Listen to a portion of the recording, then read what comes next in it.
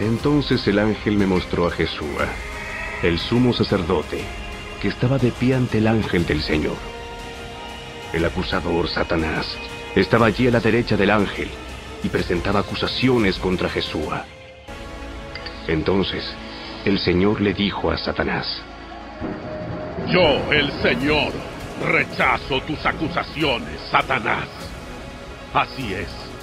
El Señor que eligió a Jerusalén te reprende. Este hombre es como un tizón en llamas que ha sido arrebatado del fuego. La ropa de Jesús estaba sucia cuando estuvo de pie ante el ángel. Entonces el ángel dijo a los otros que estaban allí, Quítenle esa ropa sucia.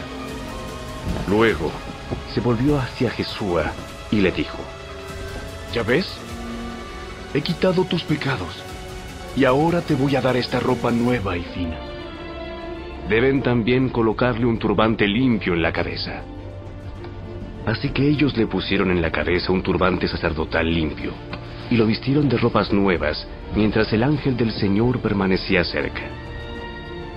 El Señor de los ejércitos celestiales dice, si tú sigues mis caminos y me sirves con cuidado, recibirás autoridad sobre mi templo y sus atrios. Permitiré que camines entre los otros que están aquí. Escúchenme, oh Jesús, sumo sacerdote, y ustedes, los demás sacerdotes. Ustedes son símbolo de lo que está por venir. Pronto traeré a mi siervo llamado el retoño. Miren ahora la joya que he puesto ante Jesús. Una sola piedra con siete facetas. Grabaré una inscripción en ella, dice el Señor de los ejércitos celestiales. Y en un solo día quitaré los pecados de esta tierra. En ese día, dice el Señor de los ejércitos celestiales, cada uno invitará a su vecino a sentarse en paz bajo sus propias vides e higueras. Entonces el ángel que había estado hablando conmigo volvió y me despertó, como si hubiera estado dormido. Y me preguntó, ¿qué ves ahora? Veo un candelabro de oro macizo con un tazón de aceite encima. Alrededor del tazón hay siete lámparas y cada una tiene siete conductos para las mechas. También veo dos olivos, uno a cada lado del tazón.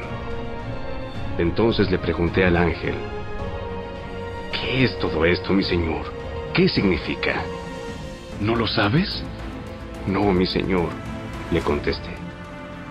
Entonces me dijo, El Señor dice a Zorobabel, no es por el poder ni por la fuerza, sino por mi espíritu, dice el Señor de los ejércitos celestiales.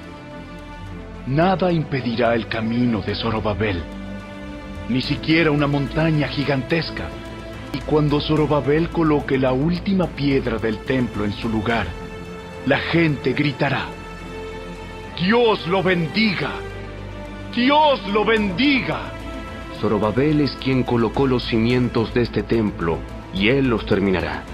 Así ustedes sabrán que el Señor de los ejércitos celestiales me envió.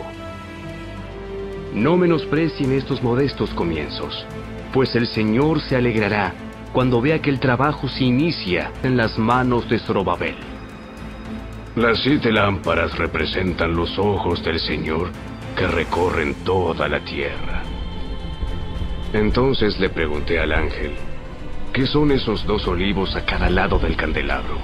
Y las dos ramas de olivo que vierten aceite dorado por dos tubos de oro. ¿No lo sabes?